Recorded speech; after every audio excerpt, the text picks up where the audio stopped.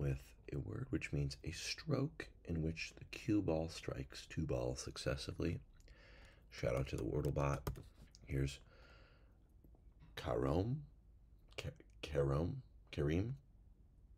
Hmm, not sure how to pronounce it. Here we go. Weird little starter there, just for fun. We've got two letters already. I need an E and an S next, perhaps. Those are quite common. E and an S. Mm hmm. Stare. That's probably where the A and the R are. Let's try it.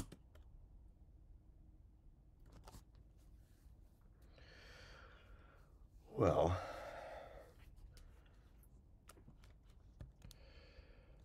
that could be an H for shark.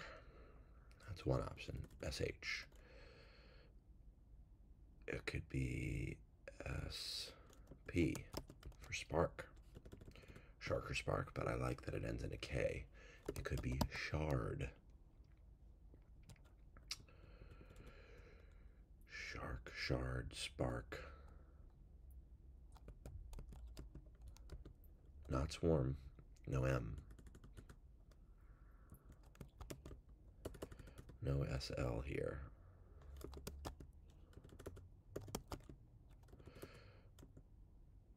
So P or H is, is what's, what's speaking to me here. We had shark, spark, not swarm, no M. Shark or spark. K is nice at the end. It's not scary. Shark or spark. I'm vibing on like Shark Week. Let's do it. Or it could be Shard. Well,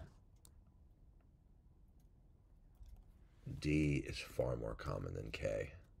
Sorry, Shark. Oh! I did like Shark. Oh no. Sharp. Let me just vomit all over this Wordle.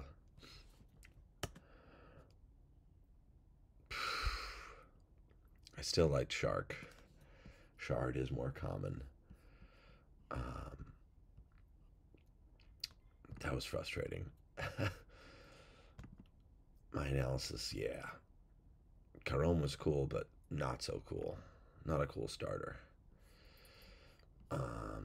I I think Slate really cleaned up on this one. Stare. Oh, seven words left. Two words left. One word left.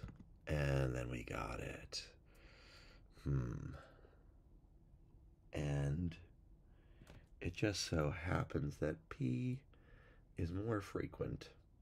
It's 50% more frequent than K. So I should have done sharp first. But shard, sharp, then shark would have been appropriate. Uh, the bot. Uh, the bot, you kind of struggle too, compared to the humans.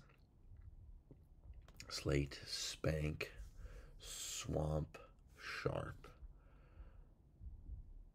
Hmm. Interesting. Sharp has more common letters than swamp. Silly bot, but the bot certainly knows more than me. Some days you get it in five, when maybe you could have gotten it in three. And that's okay. Have a beautiful day. We're delicious.